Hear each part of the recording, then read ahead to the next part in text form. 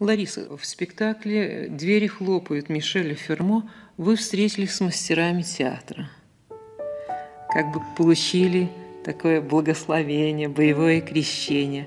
Расскажите, пожалуйста, с кем вы встретились в этом спектакле и как это помогло вашей дальнейшей творческой жизни?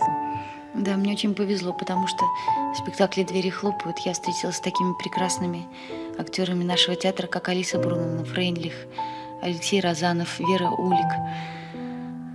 Конечно, было очень ответственно и страшно играть на сцене с такими замечательными мастерами. Но в то же время это давало мне какой-то стимул к хорошей работе, к полной отдаче на спектаклях.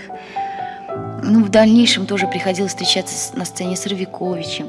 Не приходилось встречаться на сцене, но я очень люблю и ценю нашего артиста Леонида Дьячкова, который, в общем, во много помогает мне и многим нашим ребятам найти себя, может быть, в театре. Много хороших актеров в нашем театре, и они очень по-доброму относятся к молодежи нашего театра.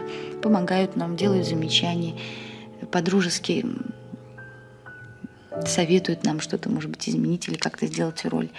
Ну и, конечно, когда мы смотрим на них на сцене, это, может быть, самая большая наша учеба происходит в этот момент.